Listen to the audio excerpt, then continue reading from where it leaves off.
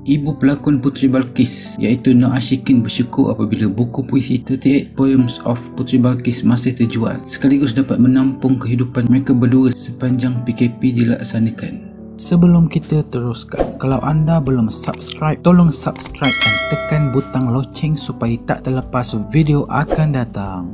Nur Ashikin berkata dia tidak menjangka buku puisi itu masih mendapat sambutan kami bersyukur buku masih terjual seperti biasa. Tak jangka juga ada yang masih membeli. Seperti biasa, saya akan hantarkan kecuali jika ia membabitkan kawasan red zone COVID-19.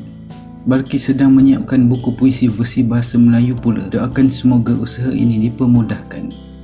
Ditanya mengenai kehidupannya, Nur Ashikin berkata dia mengamalkan sikap berjimat cermat. Syukur semua cukup makan apa yang ada dan berjimat katanya. Nur Ashikin berkata hasil penjualan buku itu membolehkan dia menyewa satu lagi unit rumah pangsa bagi menempatkan gelandangan. Ada enam individu termasuk mu'alaf. Saya sewakan sebab semua tak ada tempat. Mereka itu gelandangan yang kami memang kenal.